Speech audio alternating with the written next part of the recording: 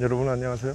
달봉입니다. 리코피싱이라는 곳에서 카트를 대신할 수 있는 아이디어 상품으로 나왔는데 일단 단점은 가격이 비싸. 5만원대 후반 옵션 뭐 이렇게 하면 6만원 정도 되는데 거의 tackle box 가격이더라고요. 원래 아이디어 상품이라는 게 가격이 좀 나가죠. 왜냐면 사람들 머릿속에 없는 걸 내가 개발을 해서 특허를 내서 제품으로 양산을 했으니까 초기 비용은 비쌀 겁니다.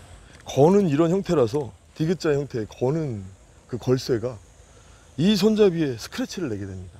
그리고 이제 유격이 자연스럽게 유격이 있는데 이 유격이 좀 약해 보인다. 그리고 세 번째는 바퀴가 좀 작아요 생각보다.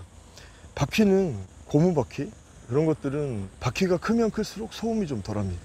근데 제가 끌고 다녀보니까 바퀴가 우레탄 바퀴라서 그런지 작더라도 그렇게 소음이 심하거나 그러진 않더라고요. 좋은 점이 이 위에 직접 짐을 싣고 끌고 다니니까 굉장히 좋습니다. 일체형이니까 카트라는 짐이 없어지더라고요.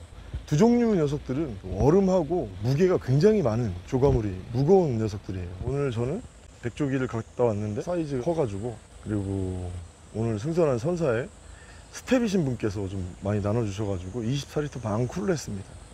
근데 제 깜냥에는 그 아이스박스 무게까지 하면 한 15kg? 뭐 이 정도 되는 것 같은데 무창포가 외부 주차장에서 승선하는 곳까지 많은 낚시 짐을 끌고 가려고 하면 기본적으로 어, 아이스박스, tackle box 그리고 rod case에 그리고 저 같은 경우는 가방도 좀 메고 들고서 가시게 됩니다. 그러면 거리가 머니까 여기 한 500m가 넘는 걸로 제가 알고 있는데 손으로 들고 가는 건 언감생심 꿈도 못 꾸고 저 같은 경우는 기존에 카트를 이용해 왔어요. 출조를 자주 다니는 낚시 유튜버 입장에서는 없는 것보다는 있는 게 확실히 편하긴 하네요. 손잡이를 분해를 해서 승선을 했을 때 옆쪽에 딱 붙이면 없는 것 같거든. 아이스박스라든지 tackle box에 또 부착을 했지만 그 무게가 뭐 거의 느껴지지 않을 정도로 그렇게 무겁거나 그렇진 않더라고. 단점을 어느 정도 커버할 수 있지 않을까. 마지막으로 검색을 하다가 이 제품을 알게 됐는데 리코피싱 사장님 아이디어 초기작은 저는 그렇게 생각을 합니다.